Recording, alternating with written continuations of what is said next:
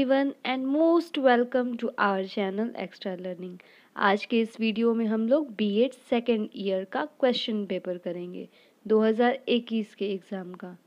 ध्यान दीजिएगा कि ये पेडागॉजी ऑफ़ इंग्लिश का क्वेश्चन पेपर है। यानी कि जो लोग भी फ़र्स्ट ईयर में कॉमर्स का एग्ज़ाम दिए होंगे पेडागॉजी ऑफ़ कॉमर्स का, वो सेकेंड ईयर में पेडागॉजी ऑफ़ इंग्लिश का एग्ज़ाम देते हैं। तो इसलिए ये जो पेपर है, वो कॉमर्स के स्टूडेंट के लिए है। साथ में जो BCA वाले थे या जिनका भी सब्सिडरी इंग्लिश होता है, वो ये कर सकते हैं। ये जो क्वेश्चन पेपर है, वो 2018-20 के सेशन के बच्चों का है। यानी कि 2018-20 के बच्चे फ़र्स्ट ईयर का एग्ज़ाम कब दिए होंगे? 2019 में और सेकेंड ईयर का कब दिए होंगे? 2020 में। लेकिन उनका फ़र्स्ट ईयर का एग्ज़ाम तो 2019 में हुआ था, जिसका क्वेश्चन पेपर हमारे प्लेलिस्ट में भी आपको मिल जाएगा। लेकिन सेकेंड ईयर का एग्ज़ाम 2020 में नहीं होकर के 2021 में हुआ था। इसका कारण है कोरोना। कोरोना की वजह से ऐसा हुआ था। ये जो एग्ज़ाम है पेडागोजी ऑफ़ इंग्लिश का, ये जो क्वेश्चन पेपर है इस वीडियो में, ये 16 अगस्त 2021 का क्वेश्चन पेपर है। एग्ज़ाम दो घंटे के हुए थे और टोटल मार्क्स था चालीस। यानी इस पेपर को अगर आप पूरा बना लेंगे तो चालीस मार्क्स आपको मिल जाएगा।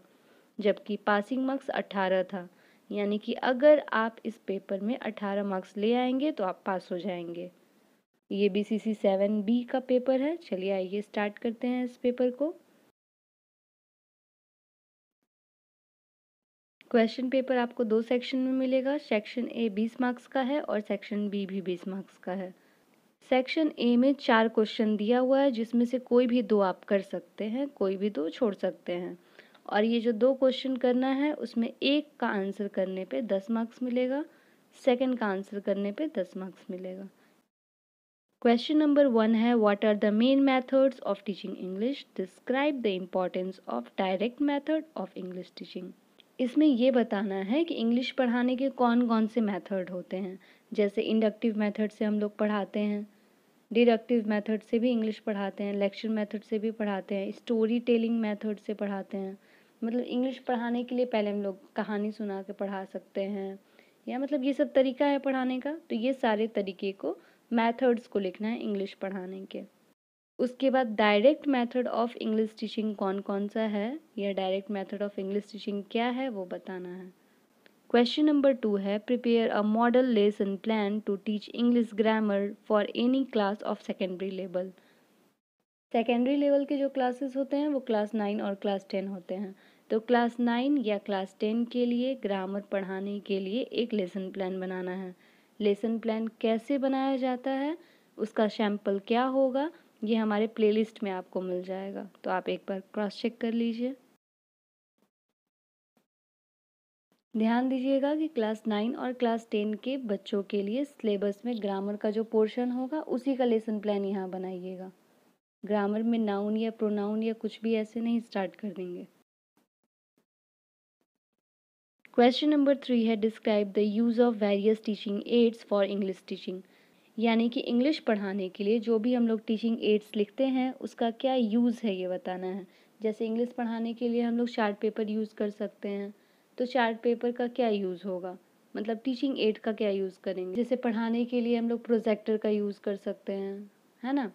तो टीचिंग करने के लिए जिस भी चीज़ का यूज़ कर रहे हैं, जिस भी टीचिंग एड का यूज़ कर रहे हैं उसका क्या यूज़ है ये बताना है? मतलब वो क्यों ज़रूरी है?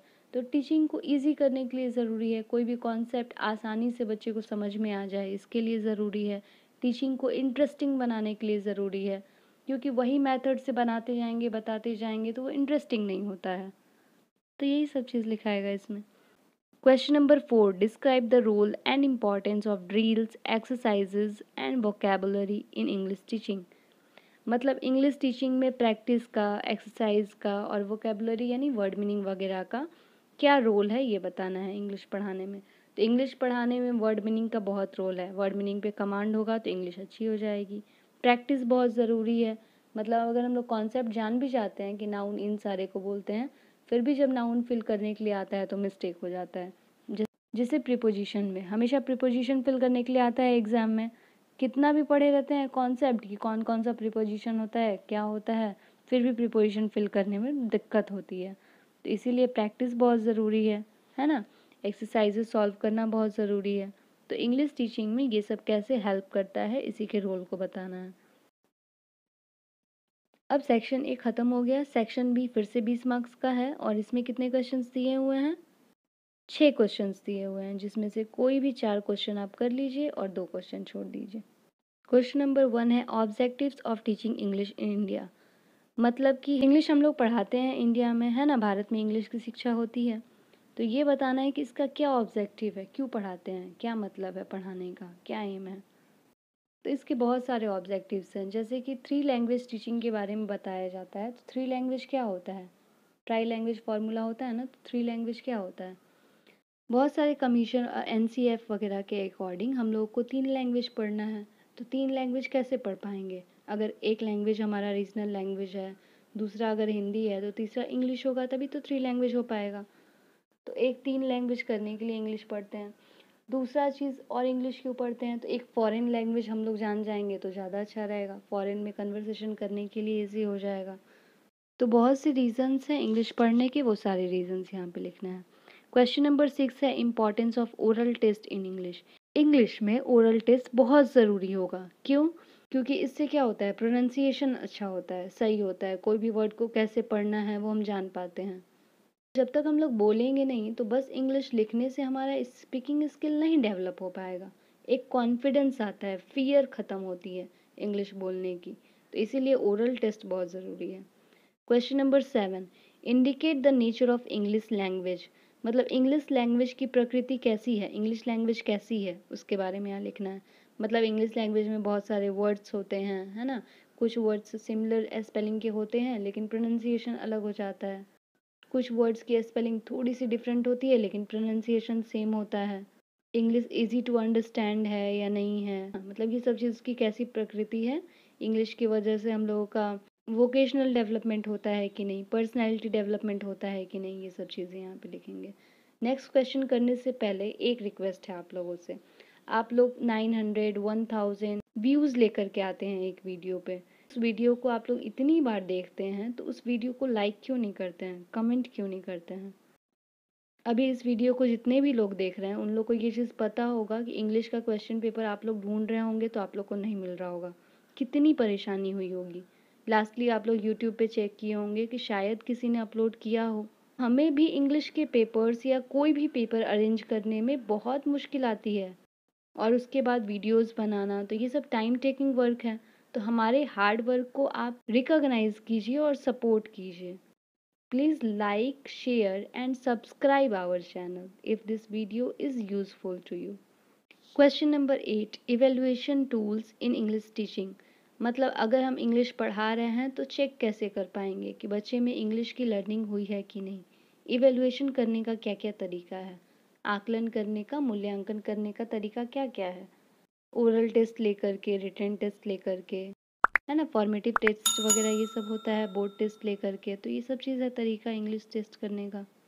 Question number nine audio visual aids in English teaching मतलब इंग्लिश पढ़ाने में ऑडियो विजुअल एड्स कौन कौन से होंगे, वो यहाँ पे लिखने हैं। जैसे टीवी टीवी के मदद से भी हम लोग इंग्लिश सीखते हैं।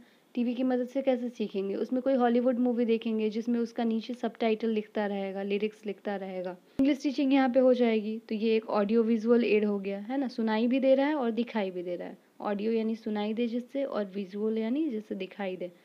तो ऐसी चीज़ें audio visual aids English teaching में कैसे हेल्प करेगी? कौन कौन सी ऑडियो विजुअल एड होगी? वो सब यहाँ लिख देंगे। आप लोग फ़र्स्ट ईयर में बीएड का एग्ज़ाम दिए होंगे तो आप लोग ये बिल्कुल जान गए होंगे कि बीएड के एग्ज़ाम में क्वेश्चन पेपर सॉल्व करके जाने से बहुत ज़्यादा हेल्प होता है, बहुत ज़्यादा। क्वेश्चंस इतने ज़्यादा रिपीट करते हैं, इतने ज़्यादा रिपीट करते हैं कि पासिंग मार्क्स तो आराम से मिलेगा और आप दो तीन साल के क्वेश्चन पेपर अच्छे से बना के जाओगे तो बहुत अच्छा स्कोर कर सकते हो। इतने बार तो क्वेश्चन पेपर एग्जैक्टली सेम आ जाते हैं। जैसे आप लोग बीएड फ़र्स्ट ईयर का पेपर देखिएगा 2021 वाला। मतलब 2021 के एग्ज़ाम में जो फ़र्स्ट ईयर का पेपर हुआ था, उस पेपर को देखिएगा और 2019 के एग्ज़ाम का बीएड फ़र्स्ट ईयर का क्वेश्चन पेपर देखिएगा। कितना ज़्यादा मैच मिलेगा वो। तो इस वीडियो को आप लोग हल्के में मत लीजिए और इस सारे क्वेश्चन पेपर को बहुत अच्छे से प्रिपेयर करके जाइए। Question number ten differentiate between teaching of prose and poetry मतलब पैराग्राफ पढ़ाना, कहानी पढ़ाना और पोइट्री यानी कविता पढ़ाना, इन दोनों में क्या डिफरेंस है? दोनों को किस किस तरीके से पढ़ाते हैं? दोनों में किस अलग मेथड का यूज़ करते हैं पढ़ाने में? यहाँ पे ये क्वेश्चन पेपर तो ख़त्म हो गया, लेकिन वीडियो को एंड करने से पहले एक इंपॉर्टेंट बात आप लोगों से कि अगर आप लोगों को बीएड का लेसन प्लान चाहिए बीएड का टीएलएम चाहिए या इंटर्नशिप डायरी असाइनमेंट पेपर कुछ भी चाहिए, वो सारा चीज़ आपको हमारे ही चैनल की प्लेलिस्ट में मिल जाएगा। उसके बाद अगर नोट्स भी चाहिए तो आप हमारे चैनल के अबाउट में चले जाइए, वहाँ पर हमारे चैनल का ऑफिशियल ईमेल आईडी लिखा हुआ है। उस ईमेल आईडी पे आप मेल लिखिए कि आपको कौन से क्लास का, कौन सा पेपर चाहिए, कौन से ईयर का चाहिए या फिर किस सब्जेक्ट का नोट्स चाहिए। डिटेल में लिखिए और उसके बाद फिर कमेंट करके ये बताइए कि आपको मिला या नहीं। चलिए ठीक है, फिर all the best for your examination बहुत अच्छे से पेपर दीजिए और अच्छी तैयारी करके जाइए अब आप लोग। Thank you